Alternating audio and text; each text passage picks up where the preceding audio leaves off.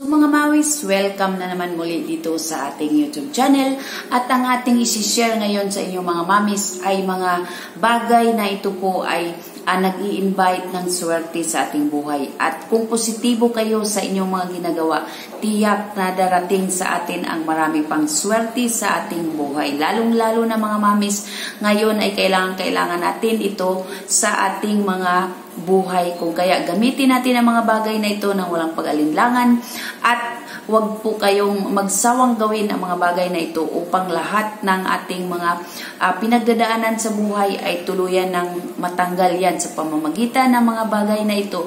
So bago nyo mapanood ang lahat ng ito mga mamis ay tapusin nyo muna ang ating video at kung bago pa lang kayo sa ating channel ay subscribe nyo na ang ating channel. Pindutin nyo ang red button sa baba nating video upang lahat na ito kayo po ang unang makapanood nito.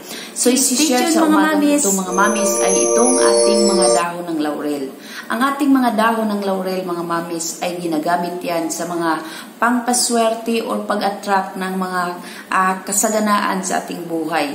Lalong-lalo na kung tayo po ay uh, medyo mayroong mga pinagdadaanan sa buhay, gamitin natin itong mga pangpausok na ito. Ang ating dahon ng laurel mga mamis, ito po siya malaglag siya mga mamis. Kung kayo po mga mamis ay maraming dahon ng laurel or mga kahit ganito kaliit mga mamis basta't buo o kaya naman ang ating mga durog-durog na dahon ng laurel ay pwede rin po natin yang gamitin. At tiyak akong mga, mga mamis na kapag ka nagawa nyo ito sa loob ng inyong tahanan tiyak ako na malakas ang pasok nito ng mga positive vibes sa loob ng ating tahanan. At kung tayo po ay uh, punong-puno ng problema ang ating gamitin lamang ay ang ating dahon ng laurel. Magpausok tayo palagi nito sa loob ng ating tahanan. At kung pwede ninyong magawa ay gawin nyo ito sa araw-araw hanggang matanggal na ang lahat ng inyong mga alalahanin sa buhay mga mamis. Dahil ang ating dahon ng laurel ang usok nito mga mamis habang tayo po ay nagpapausok sa loob ng ating tahanan. Ito po ay merong uh, pangtanggal ng mga uh, stress natin mga mamis. Ito po'y kapag ka naamoy mo ang kanyang uh, usok mga mamis ay parang ito po'y nagpapakalma sa kung ano man ang mga uh, nararamdaman mong pagkabalisa. Kung kaya gamitin mo ang ating dahon ng laurel at marami pang gamit ang ating mga dahon ng laurel na pwede nating uh, gamitin sa mga pag-akit ng swerte or sa ating mga uh, kung ano man ang ating mga nararamdaman sa ating mga sarili. Kaya ang laurel mga mamis ay kailangang wag po tayong magpaubos ng ating uh, dahon ng laurel at ng ating mga sea salt. Dahil ito pong mga bagay na ito ay palagi po natin itong mga ginagamit sa ating mga pangpaswerte or sa ating mga pangpausok sa loob ng tahanan. Ang dahon ng laurel mga mamis, ito rin po ay pwede nating gawiing tsaa. Kumuha kayo ng, kung malalaki ang dahon nito mga mamis, ay kumuha kayo ng tatlong dahon, hugasan nyo to sa ating uh, tubig at pagkatapos magpainit kayo ng ating tubig sa kasirula at pagkatapos ay maghulog tayo ng tatlong dahon ng laurel. At doon mga mamis ay inumin natin at mararamdaman mararamdaman natin ang unti-untian nating pagkalma sa ating sarili kung anuman ang ating mga uh, pinagdadaanan sa buhay na kung kung saan sa sobrang kakaisip natin yan po minsan ay nauwi po sa sa mga depresyon or sa mga palagi na lang hindi na tayo makakagawa ng magaga, magagandang bagay sa ating buhay dahil sa kung ano-ano ang ating mga iniisip, kung ano-ano ang pumapasok na mga uh, mga alalahanin sa ating isip.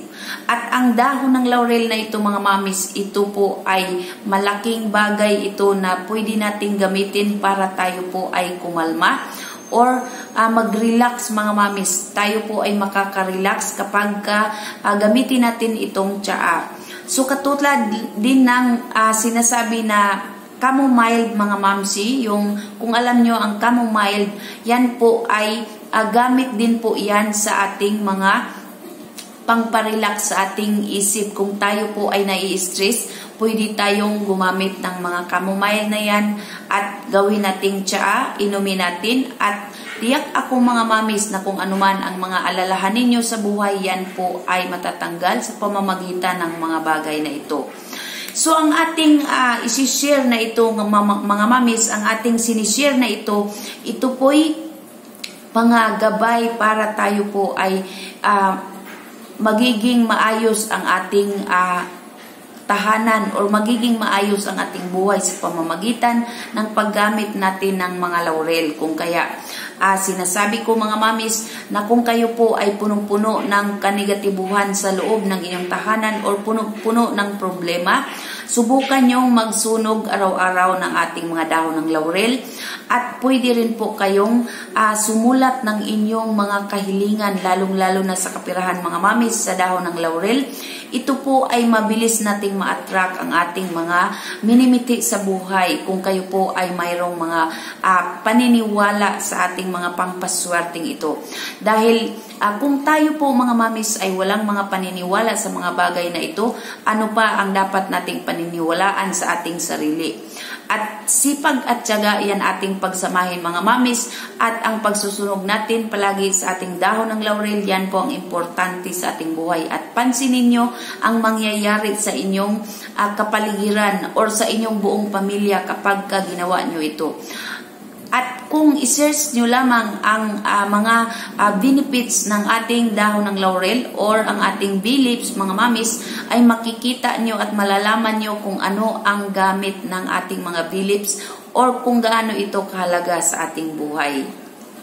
So, isishare ko sa iyo ngayon, mga mamis, ang ating uh, pwedeng paggagamitan ng ating bilip at isa lamang ito sa pwede nating paggagamitan sa maraming mga bagay na pwede nating uh, paggagamitan ng ating mga dahon ng laurel, mga mamis.